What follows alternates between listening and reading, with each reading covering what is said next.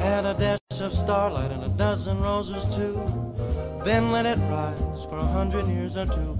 And that's a recipe for making love. It doesn't need sugar, cause it's already sweet. It doesn't need an oven, cause it's got a lot of heat. Just add a dash of kisses to make it all complete. And that's the recipe for making love. And if you've made it right, you'll know it. It's not like anything you've made before. If you've made it wrong, you'll know it. Cause it won't keep you coming back for more.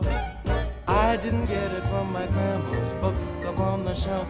I didn't get it from a magical and culinary elf. No, a little birdie told me that you can't make it by yourself. And that's a recipe for making love.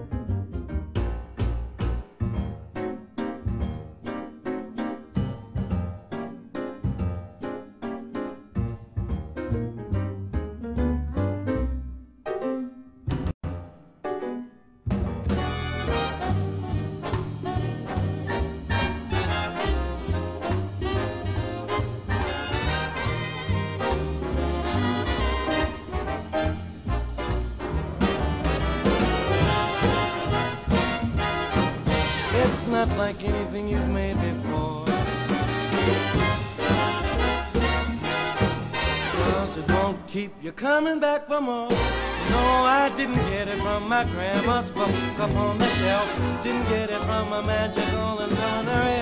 No, a little told me that you can't make it by yourself. And that's a recipe. Girl, that's the recipe of making love to you. That's the recipe making love.